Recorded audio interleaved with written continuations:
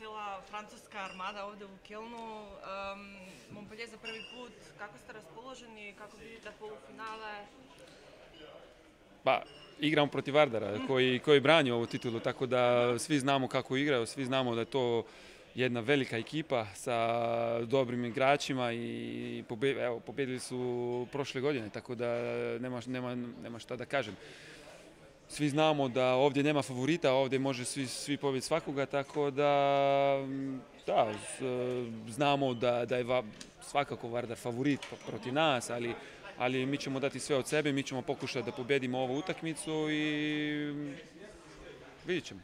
Da li se nadate na, na ona bajka koja, koja se dogodila Vardaru prošle godine, da, da se dogodi na, na Montpellieru, izvinite Pa svi se nadamo to, da, naravno. Svi, svi znamo da, da ako ćemo igrati tako kako smo igrali protiv Barcelone ili, ili Flensburga, da možemo dobiti svakoga. Ali svi znamo da ako, ako igramo loše, onda možemo izgubiti za deset isto. Tako da e, mi smo strpljivi, čekamo za sutra da vidimo kojoj formi ćemo biti, šta ćemo uraditi i ja stvarno se nadam da ćemo biti, da će cijela ekipa biti u dobroj formi, da, da ćemo svi uživati u ovoj areni, u ovom spektaklu, ne samo i Vardar isto i da ćemo prikazati jednu dobar meč, dobru utakmicu, pravu rukometnu utakmicu i da na kraju naravno da pobedimo mi. Još jedna stvar, što se najviše bojite od Vardara? Od koga recimo ili od što možda?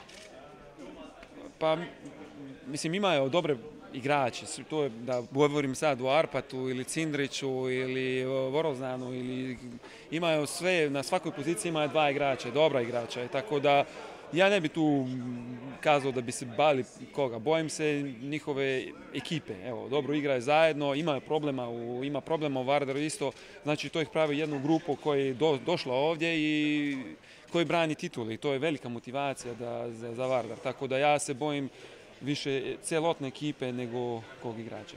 Hvala vam puno.